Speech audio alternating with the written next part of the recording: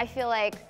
I give a lot of interviews and there's a lot of um, people who've written about me and you know since they are the writer they get to frame it however they want. And I thought you know I, I don't know if I've got the world's most reliable